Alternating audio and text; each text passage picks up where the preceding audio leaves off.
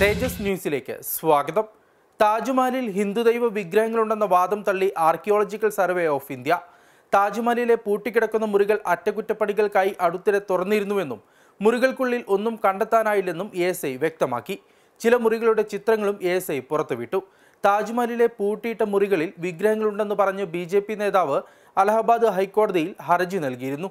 രൂക്ഷമായ ഭാഷയിലുള്ള വിമർശനങ്ങളോടെയാണ് കോടതി ഹർജി തള്ളിയത്. താജ്മഹലിലെ മുറികൾ എക്കാലവും അടച്ചിടാറില്ലെന്നും പലതവണ അറ്റകുറ്റപ്പണികൾക്കായി എല്ലാ മുറിയും തുറക്കാറുണ്ടെന്നും എ എസ് ഐ ഉദ്യോഗസ്ഥൻ പറഞ്ഞിരുന്നു. കഴിഞ്ഞ ജനുവരിയിലാണ് അവസാനം തുറന്നത്. മുറികളിൽ ഹിന്ദു വിഗ്രഹങ്ങളൊന്നുമില്ലെന്നും എ എസ് ഐയുടെ വെബ്സൈറ്റിൽ മുറികളുടെ ചിത്രങ്ങൾ ഉണ്ടെന്നും ആർക്കു വേണമെങ്കിലും പരിശോധിക്കാമെന്നും എ എസ് ഐ വ്യക്തമാക്കി. താജ്മഹലിൽ വിഗ്രഹങ്ങളുണ്ടെന്ന വാദവുമായി ബി ജെ പി നേതാവ് അലഹാബാദ് ഹൈക്കോടതിയിൽ ഹർജി നൽകിയിരുന്നു. രൂക്ഷമായ വിമർശനങ്ങളോടെ ഹർജി തള്ളിയെങ്കിലും സുപ്രീം കോടതിയെ സമീപിക്കുമെന്നാണ് ഹർജിക്കാരൻ പറഞ്ഞത്. താജ്മഹൽ സ്ഥിതി ചെയ്യുന്ന ഭൂമി ജയ്പൂർ രാജകുടുംബത്തിന്റെതായിരുന്നുവെന്ന അവകാശവാദവുമായി B J P M P രംഗത്തെത്തിയിരുന്നു.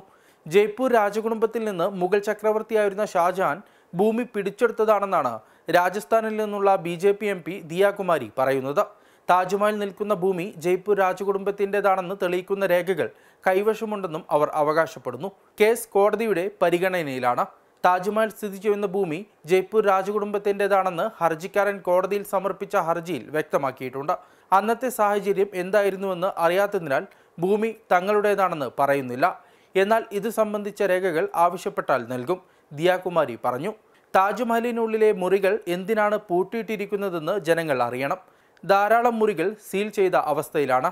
ഇതിനുള്ളിൽ എന്താണുള്ളതെന്ന് കണ്ടെത്താൻ അന്വേഷണം വേണമെന്നും അവർ പറഞ്ഞു. News desk Tejas news. Thank you.